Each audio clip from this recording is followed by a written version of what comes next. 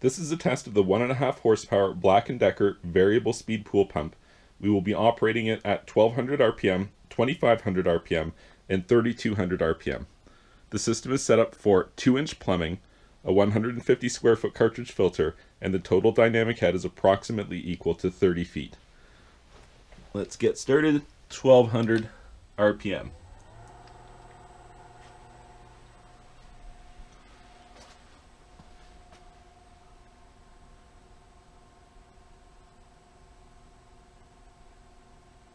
Probably call that 31 unless it's just settled here. I guess 30. We'll call that 30 gallons per minute. 100 watts power consumption, 0.51 amps of current draw.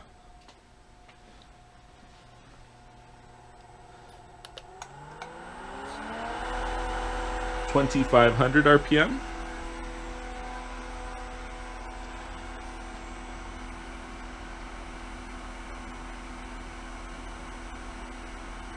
71 gallons per minute. 625 watts power consumption, 2.66 amps current draw.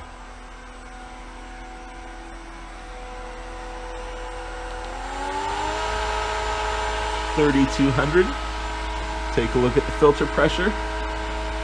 I see that as eight and a half. Eight and a half. About 90, perhaps 91, 93, 92. Okay, stop it. 91.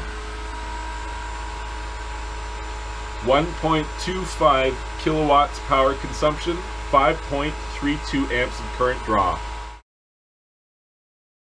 Let's go ahead and program this Black & Decker variable speed pump we're going to be doing 15 hours at 1200 RPM, 5 hours at 2500 RPM, and 4 hours at 3200 RPM.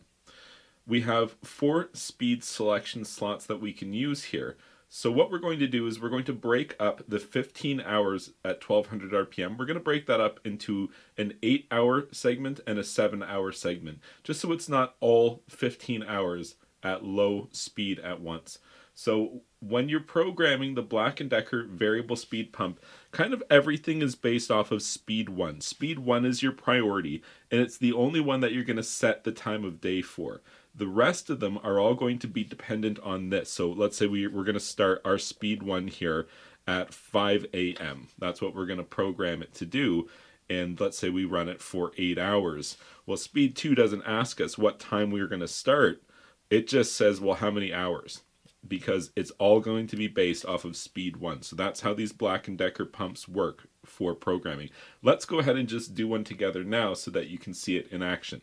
So when you see the flashing LED here, right now it's under speed, that means that I can make a change to this programming. That's what the flashing indicates. So I'm going to change speed 1 here all the way down to 1200 RPM.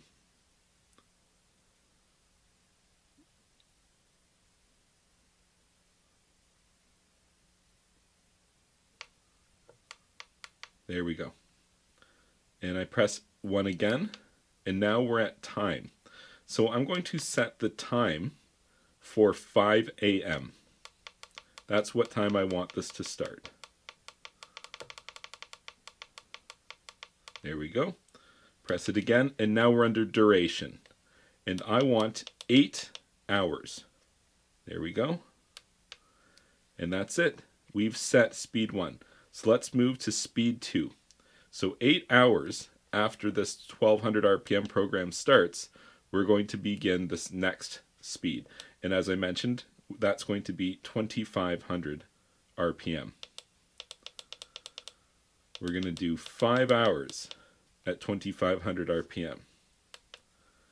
And that's actually what we've got here right now is 5 hours. So that's perfect at 2500.